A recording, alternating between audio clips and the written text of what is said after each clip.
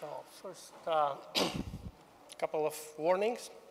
I have a bit of a cold, so hopefully we can get through this without too much sneezing. And uh, also, this is about Android security architecture. There's nothing groundbreaking he here. It's probably stuff you, you, already know if you're doing research. Hopefully, there is a couple of new things in, introduced in the uh, newest version, which uh, I've tried to incorporate, but uh, this is mostly basic stuff, and there is also a lot of it, so hopefully we have enough time. so the basic things I'm going to try to cover is uh, Android's architecture, security model, of course, how package management works, applications, and uh, how they're installed, permissions. Of course, everybody's talking about permissions because there's been big changes in the upcoming 6.2 release. SE Linux, which is also a kind of a new, relatively new addition to the Android security model. User management is has been something uh, which has been around for a while, but kind of overlooked, but it got a big, a big facelift in Android 5, so I'm trying to cover that as well. Also briefly uh, about uh, cryptography, PKI, credential storage. Those are very, very broad topics, but uh, I'll just try to cover the basics. Uh, enterprise security and Android for work. Those are things uh, which were introduced in the 5.0 release, I believe. A lot of changes there. Hopefully we can cover the basic stuff. Device security and verified boot. Uh, this is it's been a lot of work going in this area, but it's been mostly behind the scenes. And we finally have some, uh, you know, official documentation about it. So it's uh, also a very exciting topic, but also very extensive. So hopefully we can get through the basics. And um, finally, NFC secure elements, which is not really part of the core security architecture, but it's important because uh, it uh, covers how, how you can access secure elements, which is uh, something uh, very, very interesting research topic and uh, uh also important topic for uh, our hosts. So first, Android's architecture is a variant of, of this diagram you've probably already seen. It's maybe everyone has it slightly different.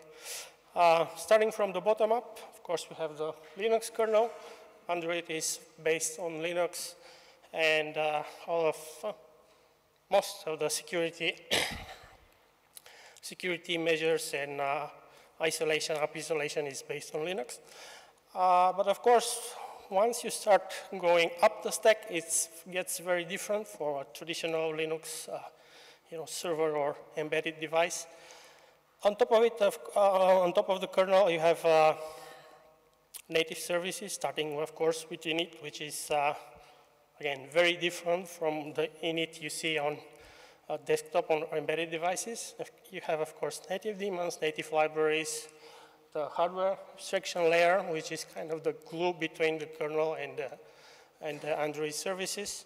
On top of that is the Android runtime, uh, originally Dalvik, now it's ART. And uh, from there up is actually the, the core of Android, which is a whole number of system services which uh, cooperate together. And I guess you could say that, uh, you know, Android services, a kind of big uh, build and object-oriented system on top of the on top of the Android kernel. And uh, of course, on top of that, the Android framework libraries, which uh, applications use to uh, communicate with the layers below. And of course, at the very top is uh, applications. There's this division between uh, user installed application and system applications, because system applications have traditionally been given, you know, more privileges, mostly because they are on the system partition, therefore they can be trusted.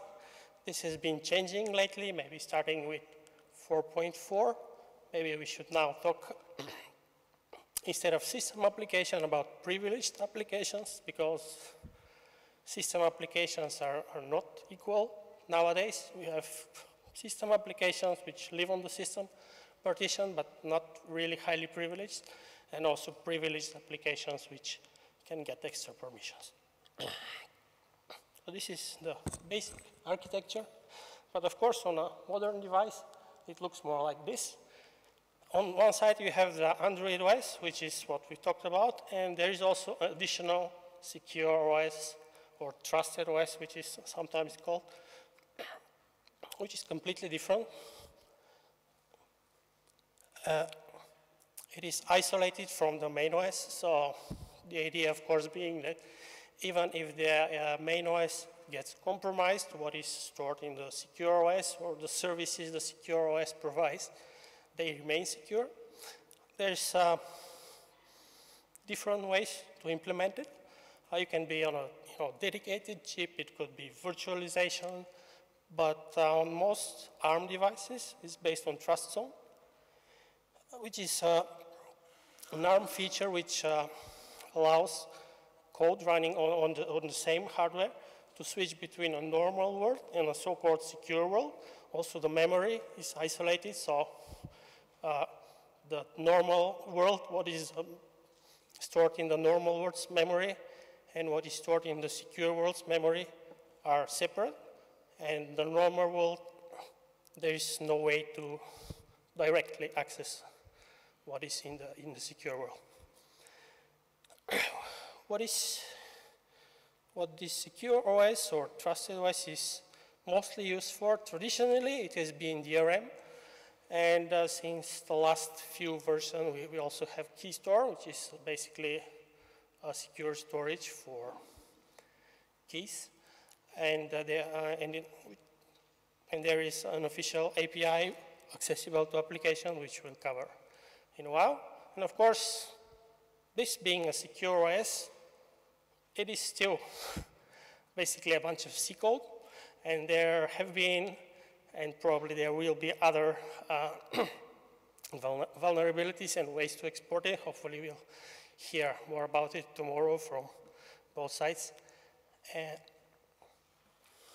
and again, this, this, uh, this particular diagram is, part is uh, taken from the Android for Work security white paper, which even though it says Android for Work is a nice introduction to Android's security model and architecture, so you should definitely look at it if you haven't.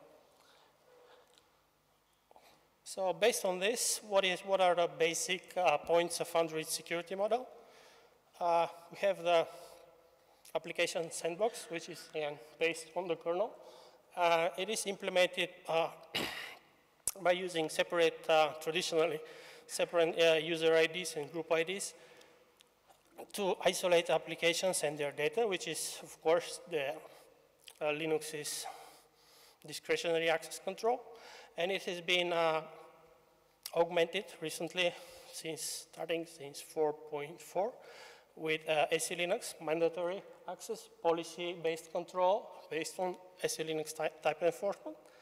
Of course, uh, those applications are isolated, but they wouldn't be particularly useful if they were completely isolated from each other. So you have secure IPC, different ways to communicate between applications and processes are also integrate some security features. The easiest, I mean, probably the basic one is uh, using uh, local sockets or Unix domain sockets. And of course, we have Binder, which is probably one of the central features of Android that sets it apart from other Linux-based uh, uh, systems and of course intents between, for communication between applications, they also have incorporate some security features in there. Uh, as we saw in the first slide, there is a lot of uh, native code below all of the framework and the system services. Android uh, has been evolving in the direction of trying to drop all the privileges which are not strictly needed. So most of the native services. They uh, try to use Unix capabilities, uh, Linux capabilities, and drop all the capabilities which they are not needing. of course, we have code signing. Code signing here is quite different from what we have, let's say, on iOS, where you cannot execute any code if it's been signed. Uh, there is no uh, code signing for native code per se. It's only for application packages and uh, OS updates. We'll look into detail in a bit. Uh, of course, Android permissions. Uh, we have system and custom permissions which are required to access uh, anything from system resources, hardware to personal information, and of course, application components from, from other applications. So starting on uh, with Binder. Binder is an IPC which is based in the kernel.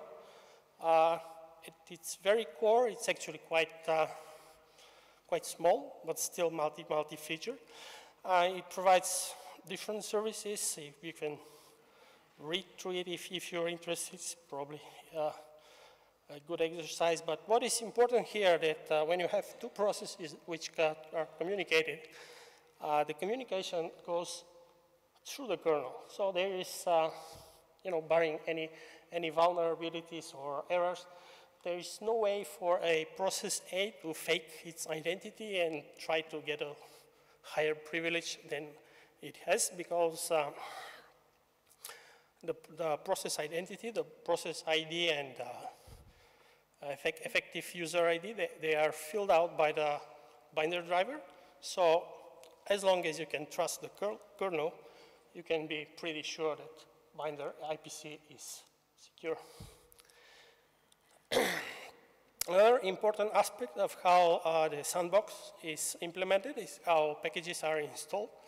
So if we look at it in a bit more detail, we have an Android package, APK file is basically a zip file. It has a, a bunch of uh, predefined files in it. Most importantly, an Android manifest, which uh, stores anything from permission to components uh, uh, declarations. Of course, you have classes dex, which is the main code, the, the compiled uh, code of the application. You have, if you're using native libraries, you might have uh, library files in there, maybe multiple, multiple files per uh, supported platform. And of course, there is a meta-inf directory which stores the signature and it, it comes from uh, jar signing which is uh, kind of the basis of uh, APK si signing. So when, a, when a, a, package is installed, it basically gets split into two parts, code and resources and data. And the code and resources are common for all users. Where they installed is very slightly by version by in the latest Android point uh, latest uh, M preview 3. Uh, it goes into data app, and where com example app is the package name. Uh, inside it, you have the native code. Uh, you have uh, a file called base ODEX, which is the um, compiled classes dex. If you're using art, it will be uh, native code. And of course, you have base APK. Even though the the APK is a zip file. It doesn't, it doesn't get exploded on the, on the file system. Basically, all resources and internal data, they are, uh, they are accessed by memory mapping the base APK. And on the, on the other hand, you have uh, data, which is uh, dedicated, uh, dedicated directories for the apps data. You have uh, if you have a single user, uh, the application directory will be under data user zero, where zero is the first uh, owner user. And again, the application package name and different, different directories for the application's uh, files, databases, and whatnot. If you have multiple users, you will have, uh, actually this is, this should probably will be 10, not one, because the first secondary user gets the uh, user ID 10, but uh, you will have uh, similar, similar, similar uh, directory structure for, for other users. And if we look inside into the data directory, we, what we see is that uh, there are mul multiple multiple directories, each for the installed application. And the important uh, thing to note here is, which I've tried to highlight, is that each uh, directory has a user, a separate user and group. Uh, in this example, this is for the user 0, so you have U0 and A1, A5, and A27 or whatever, which is the application ID. So this effectively achieves part of the application sandboxing, where each uh, application has their own dedicated data directory. And if you look at the permissions in there, you'll see that uh, because the user, uh, the user and the group are the same, the uh, application can access its own files, of course, but it's not available to, for uh, other applications which are running as a different user and directory. And of course, you have some built-in uh, built-in UIDs like Bluetooth system and radio. Well, probably the most important is system because a, a, lot of services are running as a system user. So it, it comes up multiple times. Uh, basically, any, any ser system service which is running as system can, they can share files. But of course, if you look at the fourth column, which is the uh, security context, the SE Linux security context of each directory. Uh, you can see that uh, besides the user uh, and group, each uh, directory has uh, a dedicated, dedicated Linux type. For user install applications, you can see that it's all up, up data file but for, for system and radio and Bluetooth is basically a, uh, uh, an SE Linux type which is kind of maps the, the uh, user that those services are executing as like system, radio, etc. We'll, we'll go into uh, a bit more detail in the SE Linux part. so package management is actually quite complicated if you want to look into it, if you have a spare month, you can read through Package Manager Services Java. But uh, Package Manager is kind of the central component, and then you have uh, different installer mount service, media container service, which uh, take care of uh, creating, creating directories, uh, creating encrypted containers, decrypting encrypted application, etc. One, one interesting fact is that, uh, probably know it, but uh, you can install application not just going through the you know, ADB install or the package manager. You can also install applications, but just dropping them in the system app and uh, data app directories. And the package manager is monitoring those directories, so it will automatically scan them and install them uh, once they are dropped in there. Not 100% sure how this works on Android M, because I haven't, haven't had the chance to try it, but that's how it works on previous versions. So, package management, of course, has a lot more features. Uh, one interesting uh, feature is how system apps are updated, because as we said in the beginning, system apps, they live in the system partition, which is read-only, so how do you update them? Do you remount, uh, read-only, do you, whatever you do. So there are different ways to do this. Uh, if you update through the Play Store, the system apps are, uh, the updates are installed in the data partition and the package managers do some uh, internal switching to switch to the newer version. If you update through the OTA file, it's a slightly different story. And uh, of course, the you can have a situation where the updated, fi updated file is with a different signature, so there's a bunch of tricky, tricky code that handles this part. Uh, also, Android supports encrypted packages, I believe, since 4.2. Not sure if they are still uh, used that much, but uh, the idea is that uh, for pet applications, the application comes encrypted from the Play Store and it's end-to-end -end encrypted to your device. There's also forward locking, which is a uh, basically a DRM system for paid apps. What it does is it installs uh, applications, paid application in an encrypting container, and what it does uh, in addition is it further splits an application into code and public resources. So there is actually three parts to our application, data, code, and public resources. So there's a lot of uh, tricky stuff in there as well. Package verification, something which you may have come across if you've seen this warning. It's been around since, I believe, ICS 4.0, but uh, it only started uh, being uh, used maybe since 4.2, I believe, and then it's been backported to other versions. But uh, the idea here is that you have uh, verification agents, which basically can uh, stop the installation of a package. So you say install these applications, and this application, and in order to actually install it, you have to get those verification agents. There could be mu multiple uh, to agree that it's actually okay to install this application.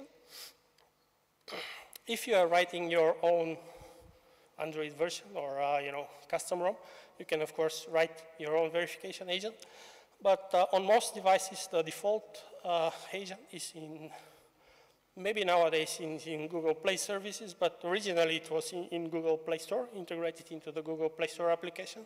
And what it does is basically every time you install applica an application, an APK. I think the first time you do it, you actually get a dialog which asks you to agree to it.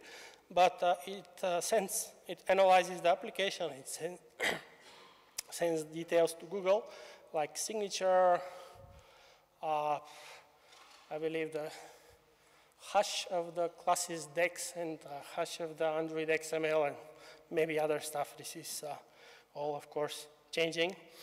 So there might be more things in there. And if the Google, Google's database uh, decides that this is a harmful application, you get this dialog. Uh, going on next, code signing is also uh, closely related to application packages. There's two, three types, main types of code signing. First one is, of course, application packages. Uh, APKs, they're signed with X.509 certificates, generally self-signed, but they don't have to be, but actually Android doesn't really care much. Uh, treated as binary blobs, what it means is that Android doesn't really care what's in the certificate. It doesn't care what extensions it has, it doesn't care what's your name and email address or whatever. So in this sense, uh, uh, code signing is using PKI technologies, but it's not actually PKI. So there's a lot of, uh, there's been a lot of confusion about this. What do you do when certificate expires? Do you check uh, for uh, revocation and things like this? Uh, up till now, Android really doesn't care. Another interesting, uh, I think important fact is that uh, because APK, APK code signing, it comes from jar signing, when you say that APK file is signed, it doesn't mean that you have one signature for a particular APK file. What it means is that you have multiple signatures for, for all the files which are in the APK. Uh, so uh, the signing certificate is the, is the package identity. It's used for a lot of things uh, mainly for getting signature permissions and to making sure that uh, an update is coming from, from the same place as the original file. Uh, what else? It's also used for shared user ID, which allows uh, multiple, multiple packages to run as the same user and optionally with the same, uh, with the same process. Uh, update packages, OTAs, they are also zip files but they're not using jar signing. Here the signature is over the, the whole file. It doesn't care what's the, the actual files inside. And it has been, uh, I don't know, hacked to, to fit in the zip comment. So this is a zip file has a, like a string comment which actually hosts the, uh, signature. It's verified by the OS and the recovery image, so it's two times. Uh, one time when it's downloaded and one time before actually installing it. And uh, one other new thing uh, is that system images may also be signed. This is being like platform dependent or vendor dependent. Now I think it's uh, required, at least the um, current build system signs it and, uh, and the bootloader does check at least uh, the boot partition. A very quick example, if you look in the APK file, there is in the meta uh, directory two files. One is cert SF, which is the signature manifest, and uh, cert RSA is the actual signature. So the signature, uh, the signatures are signatures of the of the uh, entries in the in the manifest file. So you have multiple of those and uh, every one of them can be signed with a different certificate, which has been a problem. Uh, and uh, of course, you can uh, you could have uh, multiple files. You could have two classes DEX, which is uh, the basis of the so-called master key exploit. Nowadays, Android uses a so-called strict jar verifier, which makes sure that there are no du duplicate files and that all the all the certificates are actually the same, which is very important for Android because for, as we said, uh, the signing certificate is kind of the identity of the package, and when you have many of them, which one is the real one? So it's very important to make sure that all of them are signed with the same, uh, same uh, certificate. So going on to permissions, uh, there's many, uh, some academic papers have been published trying to identify what exactly Android permissions are. I don't think that there's any clear consensus, but basically it's an ability to perform a particular operation. Could be regarded as a form of a MAC because it's enforced by the uh, implicit kind of system policy. Uh, permissions are enforced at different levels. At the kernel level, which is uh, most uh, interesting, I think, basic, or maybe the only one example is the internet permission, which is uh, the so-called par paranoid network security patch to the kernel, which doesn't allow you to uh, use sockets if you're not a member of the internet group. A native service level, where which, of course, native services don't, do, don't know nothing about permissions, but uh, permissions could be mapped to, to groups, supplementary group IDs, so they check for those.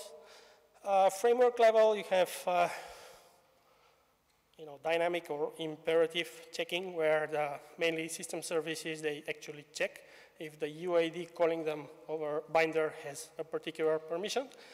And there is a more declarative or static approach which everyone is using is, uh, of course, uh, services and uh, intent uh, content providers, they declare what permissions uh, they require in the Android manifest file. And uh, when you try to call them activity manager and package manager do the actual checking for you. Uh, permissions traditionally have been uh, assigned at install time, of course. Uh, the big change in Android 6, there is also runtime assignment and also revocation. Uh, permissions have different protection levels. Uh, those haven't changed much since the beginning. There's the normal, which is basically always granted. There's the dangerous, which uh, previously required user, uh, user confirmation install time. Now it's at runtime. Signature permissions, of course, require you to be signed with the uh, same, same certificate as the, as the application that declared the permission. And there's sort of a compromise signature or system, which uh, kind of allows you to get a signature permission if you're signed with the same certificate or you live in the system partition. Nowadays, it's more of a, a signature or privilege. You have to be a privileged app to get the permission. Uh, of course, you have system permissions. Those are in the Android package defined in framework, res, APK.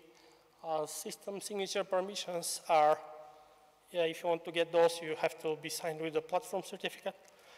Custom permissions defined by applications they are not so useful because there have been different problems in there, like what's the order of permissions, can you redefine the permissions? I think the latest version requires you to, to hold the same signature uh, certificate in order to redefine a permission, but there have been some problems in there, not 100% sure how it works with uh, Android M. As we said, share ID, where you can uh, run with the same user ID as, as another package if you're signed with the same certificate. The interesting thing here is that uh, all packages part of a shared user ID get all the permissions that have been declared. So if you have application A with permission 1, application B with permission 2, and application C with permission 3, install all of them. Each of them will have permission 1, 2, and 3. And permission groups, they have been there I believe also since the beginning, but have been largely underused. Uh, they group related permissions and are quite important for Android M. Uh, quick review, install permissions, install time permissions, all permissions granted in install time, dangerous permissions, require user confirmation, so this dialog. Uh, no runtime checks required once you install an application, you can be sure it has all the permissions you have requested cannot be revoked except for some development permissions. Permission, uh, install time permissions are quite fine-grained. There's like lots of them. And uh, if you remember, older version of Android would list all of them in one big list. Another thing, uh, they are granted for all users. So if user one uh, updates an application, uh, permissions he grants are also applied to user 2, stored in packages XML, of course. Runtime permission, everybody's talking about this, so just briefly, need to prompt for dangerous permissions, can be revoked at any time. They're granted by permission group, so if you uh, request, for example, the re read contacts, the next time you request uh, write contacts, you wouldn't get this dialog because they are in the same permission group. Another important change is that uh, runtime permissions, unlike install time permissions, they are managed per app and per user. So if two users install this application, one user can allow the application to use the camera, the other one might deny it. Of course, permissions can be revoked, but some cannot be. Uh, this is governed by the uh, device policy, which you can set with device policy manager. So basically, the toggle will be disabled or not shown at all. And uh, next is SE Linux, which is like a huge, huge topic, so we'll just try to go over the basics. Uh, SE Linux is uh, it's actually many things. It has many different features, but the way it's Android, uh, used in Android is mostly as a mandatory access control via type enforcement. SE Linux is actually just one of the uh, security modules that can be used in the Linux kernel. Uh, it could be, you know, AppArmor and others as well. At the very, at the very, very core, it's quite basic. You have subjects and objects. When a subject tries to access objects, you check the policy to see whether to allow it. A subject is usually a process, an object is a file, socket, whatever.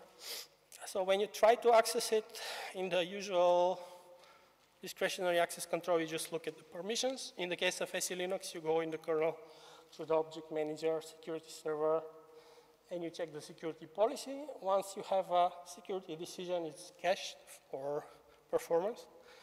But uh, this is basically what happens. And the most important part, of course, is the security policy. Everything else is just a framework, which always stay the same.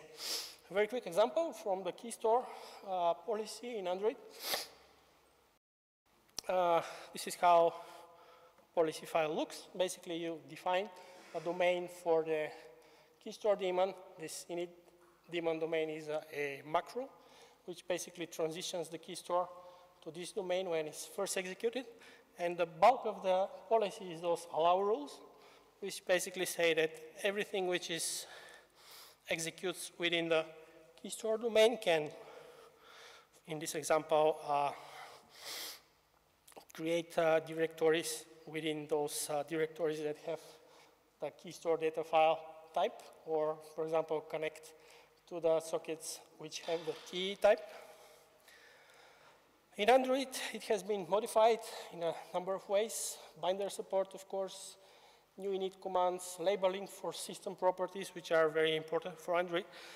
Uh, labeling for application processes has been extended as well because the effort from Zygote and domain transition doesn't work as is. Uh, we have AC app context file. Middleware map is uh, basically a way uh, to assign labels based on the signing certificate. I think it's been it's getting trimmed down, and in the latest version, there's only only two labels for platform and all the rest.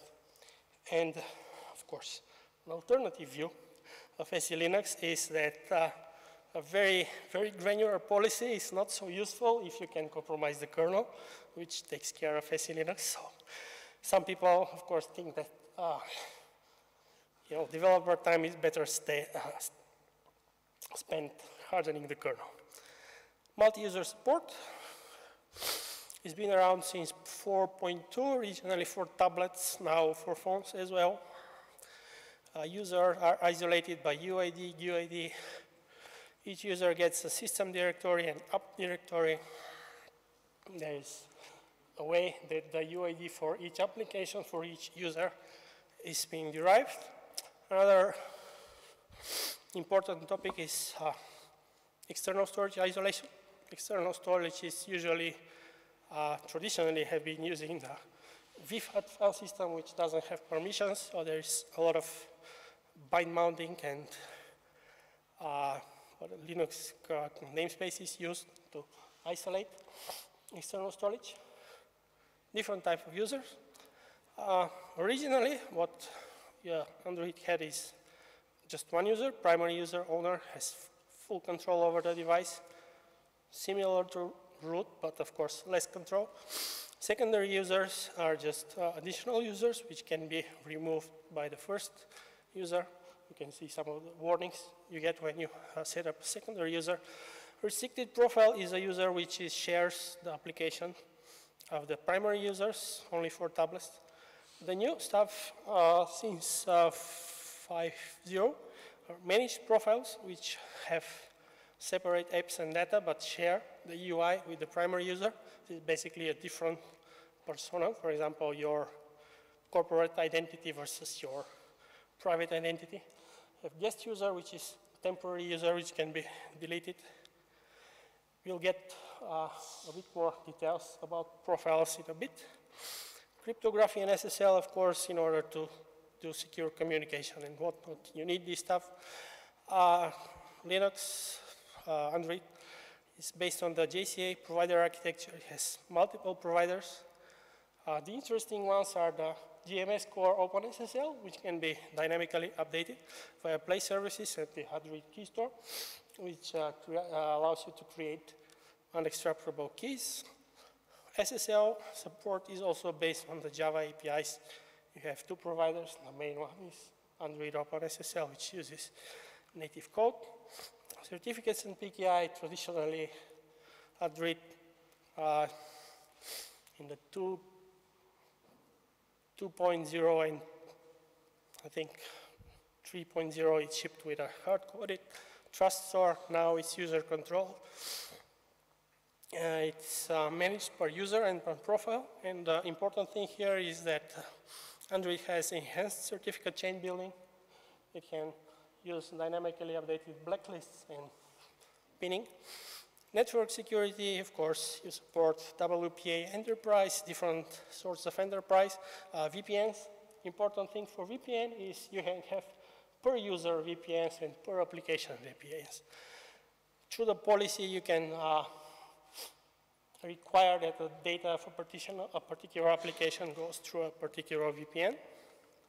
Credential storage is also a related topic. Uh, it's a system-managed secure cryptographic store which uh, allows you to create unexportable keys so you can generate them and use them but cannot see the actual key material.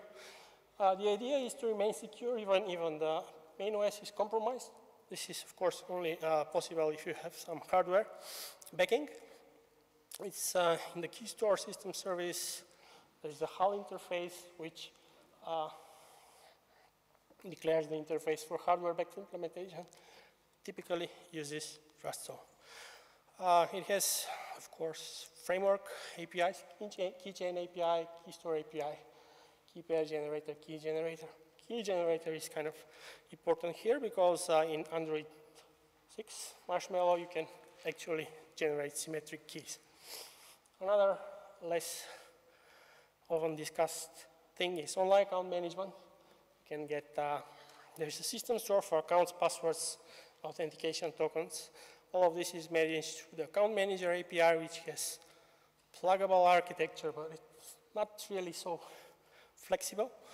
The interesting thing here is that this is actually kind of the one of the first runtime permissions in Android because you have to uh, agree to use a token, allow this application to use this token for per application and per token. Google accounts, of course, are special. Once you initialize the device, uh, you enter the Google password only once, and then it stores a master token You can control it to the uh, web UI, revoke and add access. Device administration has been uh, in Android since 2.2, I believe, but it hasn't been all that useful.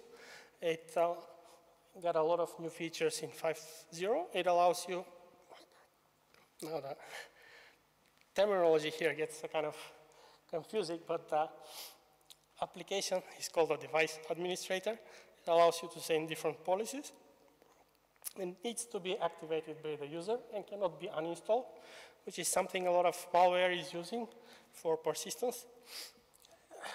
Once you agree to this dialog, you cannot uninstall it before first disabling, so a lot of people have no idea that can, they can disable it. Uh, administrations, uh, device administration and policy might uh, be required to sync account data. For example, to get corporate, corporate data, you need to activate the administrator first.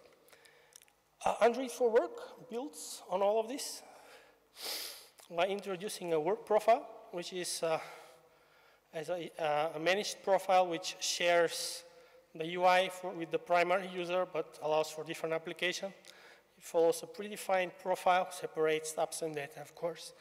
And you can have, as you can see here, the briefcase icon is the Android for Work.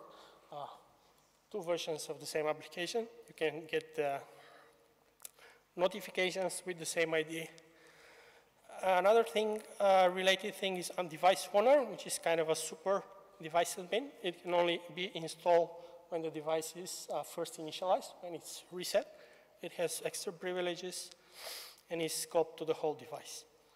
Uh, one thing Android for work requires is, of course, device encryption, which has been there since 3.0, I believe.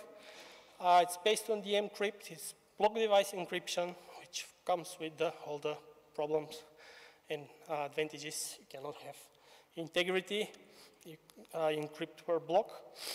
Uh, it uses uh, AES with uh, by default 128 keys. The actual key is uh, encrypted with another key encryption key derived by the password in 5.0, optionally protected by a hardware key.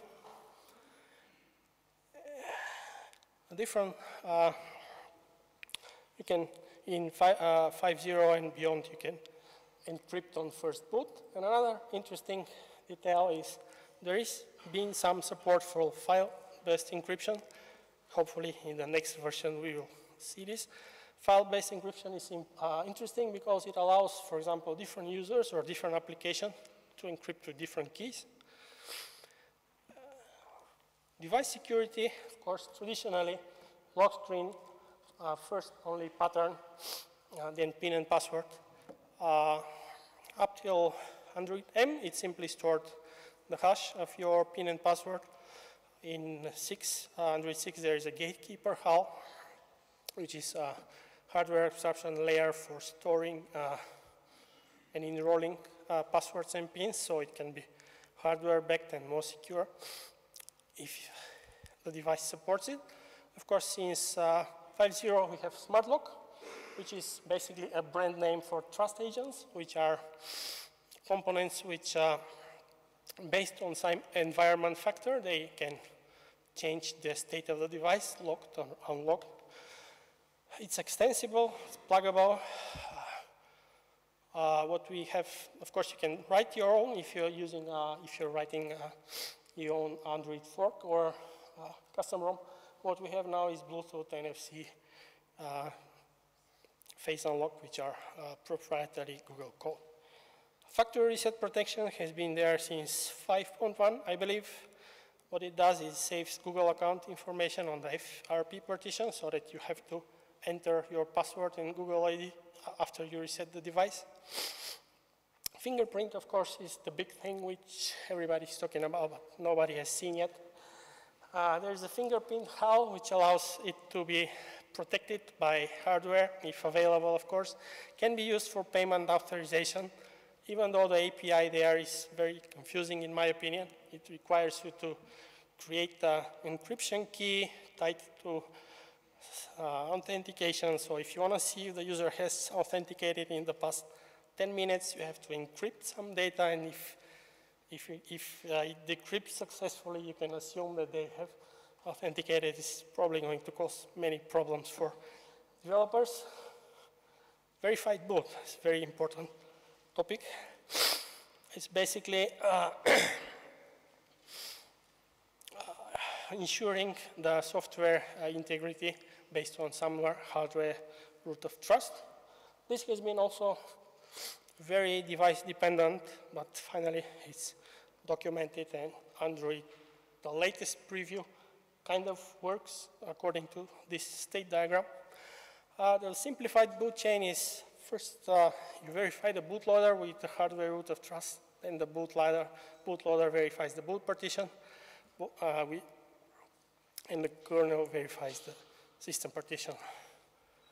Device or bootloader state can be locked and unlocked. And according to this documentation there, you can use non-OEM keys. So basically, if you have a custom ROM, you can uh, install your own signature keys. Not sure if this works quite yet with the latest preview, but uh, according to the documentation, it does. Uh, you have different boot, sta boot states. If uh, any of the partition is compromised, you get a warning. It works currently for the boot and system partition. Uh, you can get a red state. I haven't been able to reproduce the orange state, but uh, probably it also works or will work. DM Verity, it is a transparent integrity checking for block devices, originally used from, for Chrome OS. Uh, it's been integrated in Android since 4.4, I believe, but it's only been deployed recently. What it does is basically it generates uh, read errors if uh, block integrity fails. How it does it is you have the hashes of each block, and then you take hashes of hashes until you arrive at a root hash, which is signed, and it's appended at the end of the partition. Of course, this only works if the partition is read-only, like system, because uh, you cannot build the, the hash tree like at runtime. What, uh, in order for all of this to work, uh, one big change that has been introduced in Android is uh, block-based OTA updates. Previously, updates were applied by file, which of course would require you to regenerate the DM Verity after the update and write it down complicates things a lot. Now it's done in uh, until since 5.0, I think, uh, all updates are uh, block-based, at least on Nexus. Of course, for all of this to work, to be useful, the kernel needs to be trusted because this works inside the kernel. So this is where verified boot comes in. Some changes in 6.0 and uh, basically the biggest change is that uh, all of this is now stateful. So you have two modes, enforcing and logging mode, and the mode is stored in, the, in a dedicated metadata partition. Uh, the way it works, or it's supposed to work is first time you boot, if there is a problem with the enforcing mode, you switch to logging mode and show the warning and allow the user to boot. It doesn't, it doesn't block the boot completely. So the user has, you know, the choice to either not use the device or use it in a potentially compromised state. And finally, very quickly, NFC, secure elements. Uh, NFC has been there for a long time.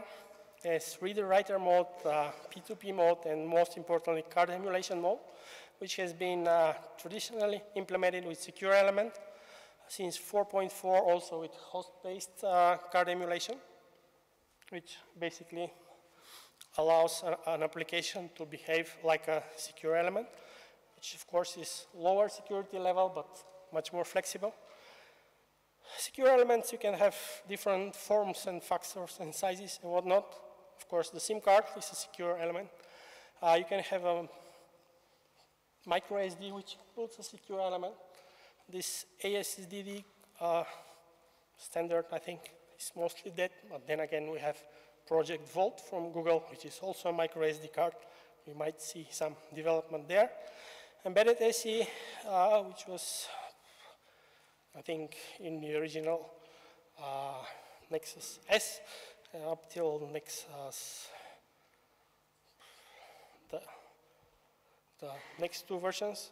There are different APIs, restricted telephony APIs, open mobile API, which kind of seeks to unify all of the different supported secure elements, and of course the Android HC, which is uh, just a uh, application which uh, generates APDUs.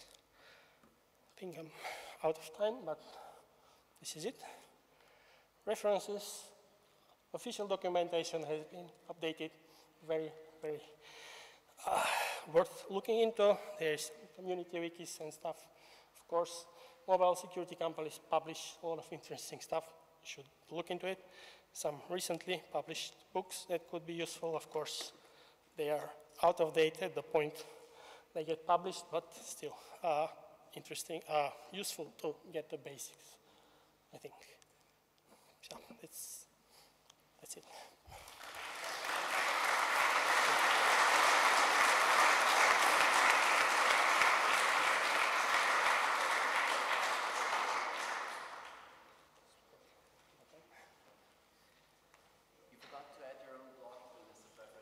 Yeah, you should probably look in there.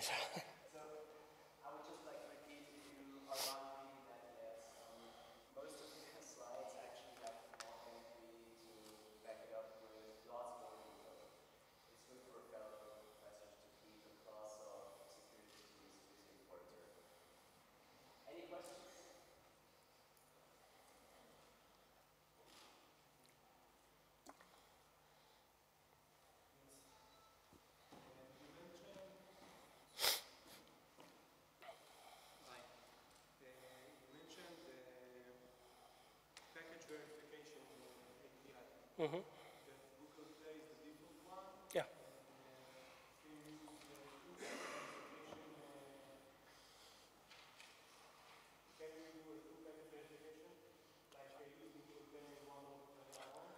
Uh, the way it works is uh, there's a required verifier and multiple su sufficient verifiers, I think. And the way it's now is uh, the one in Google Play is the required one. So basically, uh, even if you have multiple, if Google Play says okay, it's, it's considered okay. So even if the other ones, now, I haven't looked in the latest code, but I think if you use the Google Play, you, can, you cannot override it because it's the required one. If you want to use multiple, you have to use, uh, uh, you have to remove the required one and you have multiple sufficient verifiers in order to have, like, for example, uh, getting data from two sources. If you want to do this, you have to think, uh, I think you have to use multiple uh, verifiers, but remove the Google one because it will override them.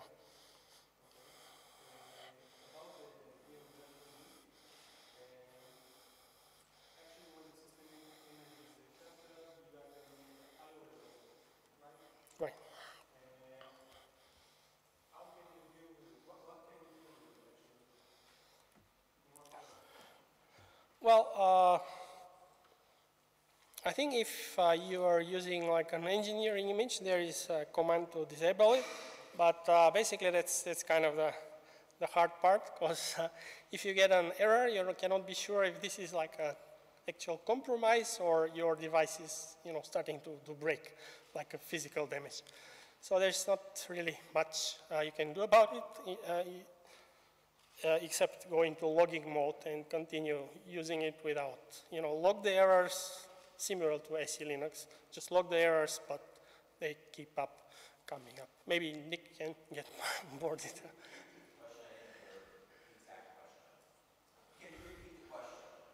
Uh, the question is, well, DM Verity, of course, you get uh, read errors. If there is a problem, what can you do about it? So, yeah, one of the, one of the challenges with DM Verity is um, hardware errors occur.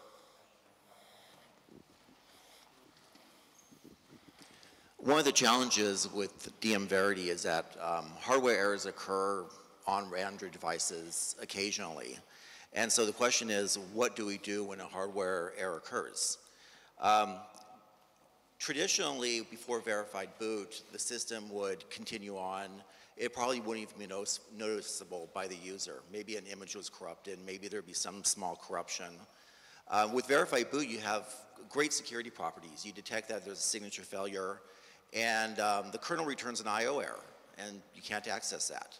So is returning an I.O. error sufficient? Um, we're still trying to measure where we're at with verified boot, the level of corruption that we can expect on devices. But over time, I could see it going into a, a, a stronger enforcing mode where we actually do um, return I.O. errors or even just shut down the device.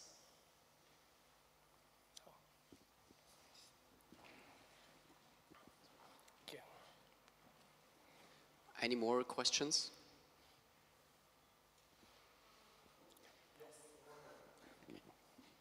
You mentioned uh, something about the, the Qualcomm Secure OS, right? That you have a parallel OS, uh, the Android, uh, the Linux OS, and the uh -huh. Qualcomm. And you mentioned that you can attack this uh, uh, Qualcomm OS, right? Mm. It's not only Qualcomm, but yeah, it's one of the major. what is the attack vector for?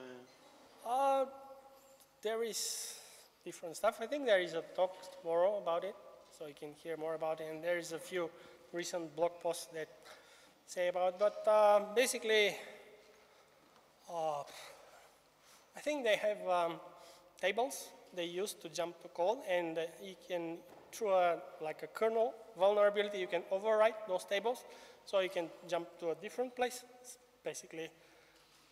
Uh, I can give you the, the links. There's uh, this guy who wrote like a series of blog posts about the vulnerabilities he discovered. So basically, you go through the kernel and you overwrite some, some, some memory and then. So okay. it's not easy, it's actually quite tricky to get it right, but it is possible. Thank you. There is going to be more detail on Trust Zone. Any other questions? Okay, so then let's thank Nikolay again